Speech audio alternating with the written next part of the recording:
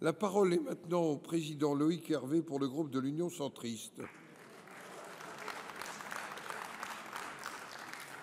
Monsieur le président, ma question s'adresse à monsieur le 1er ministre.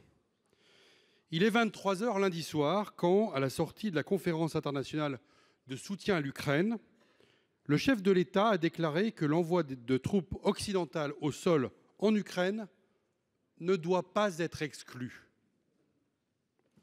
Les Français découvrent alors en direct un changement fondamental de notre stratégie dans le soutien que nous apportons à l'Ukraine face à l'invasion d'une partie de son territoire par la Russie.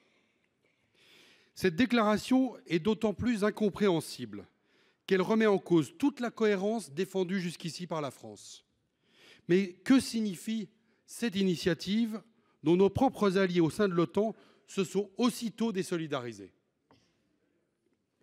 Monsieur le Premier ministre, cette orientation n'a été ni préparée ni concertée avec le Parlement, qui n'en a jamais été saisi, ni de près ni de loin.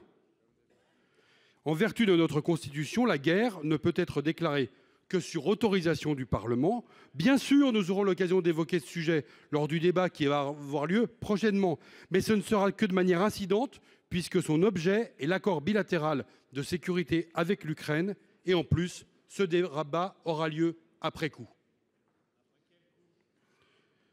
On ne peut pas maîtriser la portée d'une telle annonce et les enjeux sont trop grands pour laisser le champ libre à ce type d'improvisation. Surtout quand Donald Trump, donné aujourd'hui vainqueur de la course à la Maison-Blanche, proclame haut et fort que s'il est élu, non seulement il arrêtera de soutenir l'Ukraine, mais qu'il retirera même les États-Unis de l'OTAN.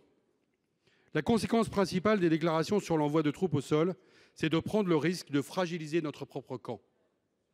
Alors, monsieur le Premier ministre, quels engagements prend ici votre gouvernement pour respecter l'ordre constitutionnel et surtout pour continuer de défendre notre intérêt le plus fondamental, à savoir la paix?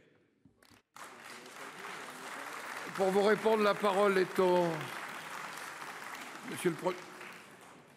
ministre délégué euh, chargé de l'Europe.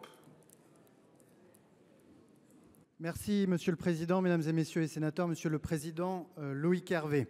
Le combat des Ukrainiens, c'est aussi le nôtre, parce qu'en se battant depuis deux ans pour l'intégrité de leur territoire, ils se battent aussi pour la sécurité euh, de l'Union européenne et de la France.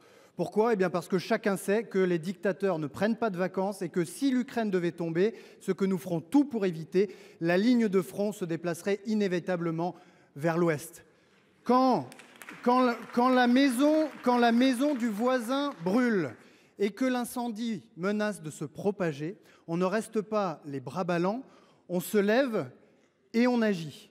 Je rappelle les mots, je rappelle les mots de Raymond Aron en 1939. Nous croyons dans la victoire finale des démocraties, mais à une condition, c'est qu'elles le veuillent. Et c'est la raison pour laquelle le président de la République a convoqué lundi 26 février un sommet international auquel 27 chefs d'État et de gouvernement ou leurs représentants directs se sont rendus, où ils se sont entendus pour poursuivre notre soutien à l'Ukraine, pour faire plus, pour faire mieux et pour faire différemment. À cette occasion, le président de la République a déclaré que nous ne pouvons rien exclure, que nous devons explorer tout le champ des possibles sans rien exclure tout en accroissant notre soutien à l'Ukraine, ce serait une faute grave et une menace pour notre sécurité de refuser de débattre de toutes les options qui se présentent à nous aujourd'hui et demain. Alors vous avez raison, monsieur le, le, président Loïc Hervé, il faut que les Français soient pleinement associés et éclairés dans ces décisions. C'est la raison pour laquelle le président a également annoncé qu'un débat se tiendrait devant le Parlement au titre de l'article 50-1 de notre Constitution. Ce sera l'occasion pour le Parlement de se saisir pleinement de ces sujets.